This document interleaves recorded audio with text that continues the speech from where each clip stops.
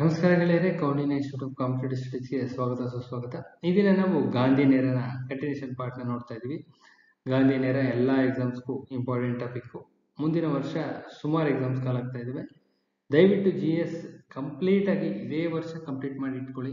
ಏನಿದ್ರೂ ಆದಾಗ ರಿವಿಸನ್ಸ್ ಮಾಡೋದು ಇಟ್ಕೋಬೇಕಷ್ಟೇ ಅವಾಗ ಓದ್ತೀನಿ ಅಂದರೆ ತುಂಬ ಕಷ್ಟ ಆಗುತ್ತೆ. ಯಾಕಂದರೆ ಸೆಕೆಂಡ್ ಪೇಪರ್ಸ್ ಎಲ್ಲದಕ್ಕೂ ಇದ್ದೇ ಇರುತ್ತೆ ಕಂಪಲ್ಸರಿಯಾಗಿ ಸೊ ಸೆಕೆಂಡ್ ಪೇಪರ್ ಓದೋದ್ರಲ್ಲೇ ಹೆವಿ ಟೈಮ್ ಹೋಗುತ್ತೆ. ಕನ್ನಡ ಇರ್ಬೋದು ಎಫ್ ಡಿ ಅಂದರೆ ಕನ್ನಡ ಇರುತ್ತೆ.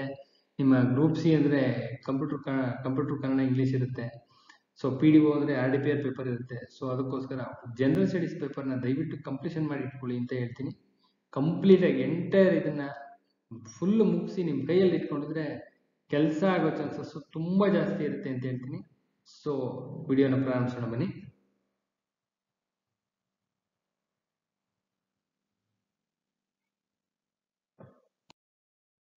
ಗಾಂಧೀಜಿಯವರು ಚಂಪಾರಣ್ಯ ಸತ್ಯಾಗ್ರಹದ ನಂತರ ಗಾಂಧೀಜಿಯವರು ಏನ್ ಮಾಡ್ತಾರಪ್ಪ ಅಂದ್ರೆ ಅಹಮದಾಬಾದ್ ಕಾರ್ಮಿಕರ ಚಳವಳಿಯಲ್ಲಿ ನಿರತರಾಗ್ತಾರೆ. ಅಹಮದಾಬಾದ್ ಕಾರ್ಮಿಕ, ಕಾರ್ಮಿಕರ ಚಳವಳಿಗೆ ಎಂಟ್ರಿ ಕೊಡ್ತಾರೆ. ಆಕ್ಚುಲಿ ಅಹಮದಾಬಾದ್ ಕಾರ್ಮಿಕರ ಚಳವಳಿ ಏನಪ್ಪಾ ಅಂದ್ರೆ ಥೀಮ್ ಏನಪ್ಪಾ, ಯಾಕೆ ಅಲ್ಲಿ ಸಂಘರ್ಷ ಉಂಟಾಗ್ಲಿಕ್ಕೆ ಅತ್ಯಂತ ಮುಖ್ಯವಾದಂತ ಕಾರಣ ಏನಪ್ಪಾ ಅಂದ್ರೆ ಕಾರ್ಮಿಕರು ಮತ್ತು ಜವಳಿ ಮಿಲ್ ಮಾಲೀಕರ ಮಧ್ಯೆ ಸಂಘರ್ಷಕ್ಕೆ ಏನ್ ಎಡಮಾಡಿಕೊಡುತ್ತೆ ಅಂದ್ರೆ ಮಾಲೀಕರು ಪ್ಲೇಗ್ ಬೋನಸ್ನ ಹಿಂದಕ್ಕೆ ಪಡೆಯಲು ತೀರ್ಮಾನಿಸ್ತಾರೆ. ಮಾಲೀಕರು ಪ್ಲೇಗ್ ಬೋನಸ್ ಅಂತ ಕೊಡ್ತಿರ್ತಾರೆ ಆಗಿನ ಕಾಲಕ್ಕೆ. ಸೊ ಅದನ್ನ ಹಿಂದೆ ಪಡೆಯೋಕ್ಕೆ ತೀರ್ಮಾನ ಮಾಡ್ತಾರೆ. ಪ್ಲೇಗ್ ಬೋನಸ್ ಅಂದ್ರೆ ಏನು ಅಂತ ನೋಡ್ತಾ ಹೋಗೋಣ. ಸಾವಿರದ ಒಂಬೈನೂರ ಹದಿನೆಂಟು, ಹದಿನೆಂಟರ ಆಜುಬಾಜಿನಲ್ಲಿ ಪ್ಲೇಗ್ ರೋಗ ಉಂಟಾಗುತ್ತೆ. ಆಗಿನ ಕಾಲಕ್ಕೆ ಅತ್ಯಂತ ಮಾರಕವಾದ ರೋಗ ಈಗ ಕರೋನಾ ಹೇಗೆ ಬಂದಿತ್ತು ಅದೇ ತರ ಮಾರಕ, ಅತ್ಯಂತ ಮಾರಕವಾದ ರೋಗ. ಸುಮಾರು ಜನ ಸತ್ತೋಗ್ತಾರೆ ಸುಮಾರು ಜನ, ಸಾವಿರಾರು ಜನ ಸತ್ತೋಗ್ತಾರೆ ನೈನ್ಟೀನ್ ಟ್ವೆಂಟಿ ಒನ್ನಲ್ಲಿ ಜನಗಣತಿ ಒಂದು, ಜನಗಣತಿ ಮಾಡಿದಾಗ ಗ್ರೇಟ್ ಡಿವೈಡರ್ ಅಂತಾನೆ ಕರೀತಾರೆ. ಯಾಕೆ ಅಂದ್ರೆ, ಆ ಒಂದು ಮೈನಸ್ ಇದ್ರಲ್ಲಿ ಹೊಟ್ಟೋಗಿರುತ್ತೆ ಇರೋ ಜನಸಂಖ್ಯೆಯಲ್ಲೇ ಕಮ್ಮಿ ಆಗ್ಬಿಟ್ಟಿರುತ್ತೆ. ಜನಸಂಖ್ಯೆ ಜಾಸ್ತಿ ಆಗೋದಿಲ್ಲ. ಇರೋದ್ರಲ್ಲೇ ಕಮ್ಮಿ ಆಗ್ಬಿಟ್ಟಿರುತ್ತೆ. ಅಷ್ಟೊಂದು ಲಕ್ಷಾಂತರ ಜನ ಸತ್ತೋಗಿರ್ತಾರೆ. ಸೊ ಸುಮಾರು ಜನ ಯಾವಾಗ ಸಾಯ್ತಾರೆ? ವರ್ಕಿಂಗ್ ಹ್ಯಾಂಡ್ಸ್ ಇವ್ರಿಗೆ, ಜವಳಿ ಕಾರ್ಮಿಕ ಜವಳಿ ಜವಳಿ ಮಾಲೀಕರಿಗೆ ವರ್ಕಿಂಗ್ ಹ್ಯಾಂಡ್ಸ್ ಸಮಸ್ಯೆ ತುಂಬಾ ಕಡಿಮೆ ಆಗುತ್ತೆ. ಸಂಖ್ಯೆ ತುಂಬಾ ಕಡಿಮೆ ಆಗುತ್ತೆ.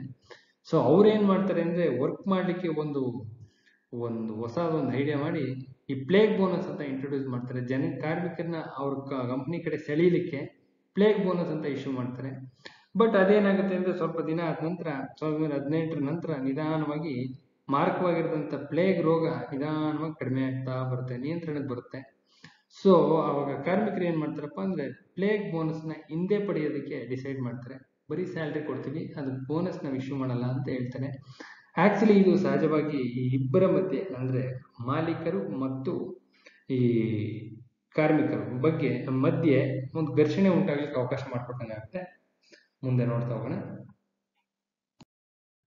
ಆಕ್ಚುಲಿ ಈ ಸಂದರ್ಭದಲ್ಲಿ ಬ್ರಿಟಿಷ್ ಕಲೆಕ್ಟರ್ ಆಗಿರ್ತಾರೆ. ಬ್ರಿಟಿಷ್ ಕಲೆಕ್ಟರ್ ಆಗಿದ್ದಂತ ಒಬ್ಬ ಜಿಲ್ಲಾಧಿಕಾರಿ ಇರ್ತಾರೆ. ಅವರು ಈ ಪರಿಸ್ಥಿತಿನ, ಈ ಘರ್ಷಣೆಯನ್ನ ತಿಳಿಗೊಳಿಸ್ಬೇಕು ಅಂತ ಡಿಸೈಡ್ ಮಾಡಿ ಒಂದು ಒಂದು ಪ್ಲಾನ್ ಮಾಡ್ತಾರೆ. ಏನಪ್ಪಾ ಅಂದ್ರೆ ಗಾಂಧೀಜಿಯವ್ರನ್ನ ಈ ಇದ್ರ ಮಧ್ಯೆ ತಂದ್ರೆ ಕರ್ಕೊಂಬಂದ್ರೆ ಮಧ್ಯಪ್ರವೇಶ ಅಂದ್ರೆ ಈ ಪರಿಸ್ಥಿತಿ ಖಂಡಿತವಾಗ್ಲೂ ಒಂದು ಹಂತಕ್ಕೆ ಬರುತ್ತೆ ಅಂತ ಅವ್ನಿಗೆ ಗೊತ್ತಿರುತ್ತೆ. ಸೊ ಅದಕ್ಕೆ ಪರಿಸ್ಥಿತಿನ ತಿಳಿಗೊಳಿಸಲು ಗಾಂಧೀಜಿಯವ್ರನ್ನ ಮಧ್ಯಪ್ರವೇಶಿಸುವಂತೆ ಕೇಳ್ಕೊತಾನೆ. ಆಗ ಗಾಂಧೀಜಿಯವರು ಗಿರಣಿಯಲ್ಲಿ ಖರ್ಚು ಮತ್ತು ಲಾಭಗಳ ಬಗ್ಗೆ ಕಲಂಕಷವಾಗಿ ಅಧ್ಯಯನ ಮಾಡ್ತಾರೆ, ಸಂಪೂರ್ಣವಾದ ಅಧ್ಯಯನ ಮಾಡ್ತಾರೆ. ಮಾಡಿ ಶೇಕಡ ಮೂವತ್ತೈದರಷ್ಟು ಕಾರ್ಮಿಕರ ವೇತನವನ್ನ ಹೆಚ್ಚಿಸಬಹುದು ಅಂತ ಮಾಲೀಕರನ್ನ ಕೇಳ್ಕೊತಾರೆ. ತರ್ಟಿ ಫೈವ್ ಪರ್ಸೆಂಟ್ ಕೊಡ್ಬೋದು ಇರೋ ಲಾಭಾಂಶದೆಲ್ಲ ನೋಡಿದ್ರೆ ತರ್ಟಿ ಫೈವ್ ಪರ್ಸೆಂಟ್ ಜಾಸ್ತಿ ಮಾಡಿದ್ರೆ ಏನು ಮೋಸ ಆಗೋದಿಲ್ಲ ಅಂತೇಳಿ ಹೇಳ್ತಾರೆ.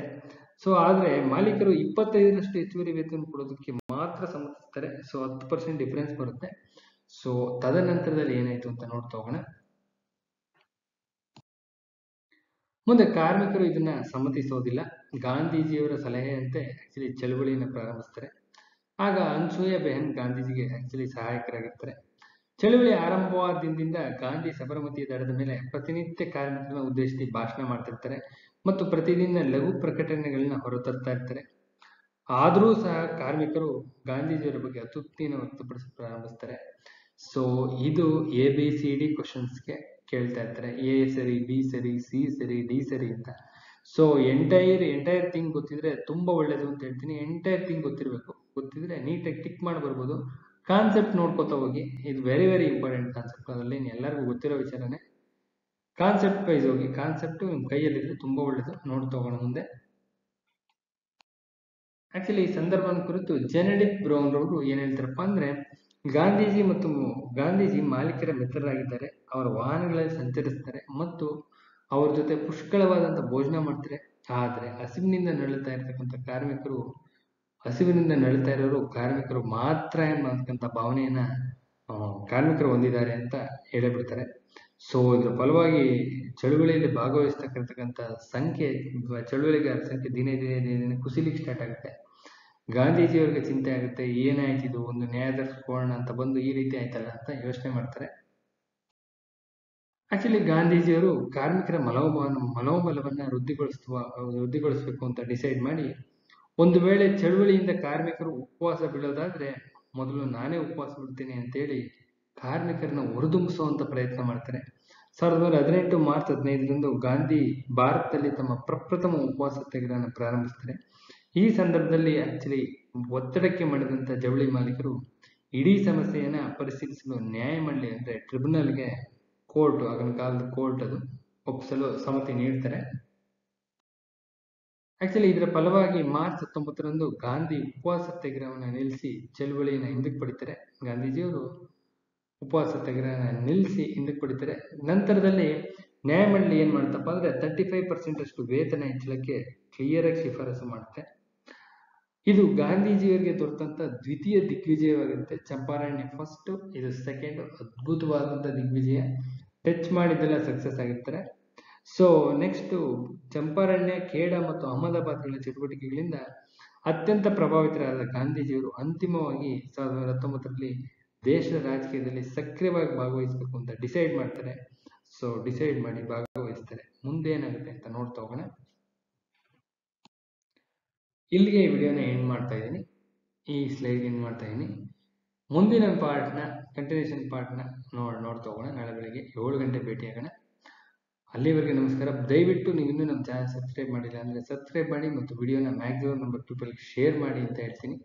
ಎಲ್ಲರಿಗೂ ಅನುಕೂಲ ಆಗುತ್ತೆ. ಇದು ಗಾಂಧಿಯನ್ನೇರ ತುಂಬಾ ಇಂಪಾರ್ಟೆಂಟ್ ಟಾಪಿಕ್ ಎಲ್ಲ ಎಕ್ಸಾಮ್ಸ್ಗೂ ಬರ್ತವೆ ಕ್ವಶನ್ಸು ಕ್ವಶನ್ಸ್ ಯಾವ ರೀತಿ ಟ್ಯಾಗ್ ಆಗ್ತವೆ ಅಂತದನ್ನು ಅದನ್ನು ಹೇಳ್ತಾ ಇದ್ದೀನಿ. ನೀಟಾಗಿ ನೋಡ್ಕೊತ ಹೋಗಿ. ನೋಟ್ಸ್ ಮಾಡಿ ಇಟ್ಕೊಳ್ಳಿ ಅಂತ ಹೇಳ್ತೀನಿ. ಇಲ್ಲಿಗೆ ನಾನು ಈ ವಿಡಿಯೋನ ಎಂಡ್ ಮಾಡ್ತಾ ಇದ್ದೀನಿ. ನಮಸ್ಕಾರ. ನಾನು ಬೆಳಗ್ಗೆ ಏಳು ಗಂಟೆ ಭೇಟಿಯಾಗೋಣ. ನಮಸ್ಕಾರ.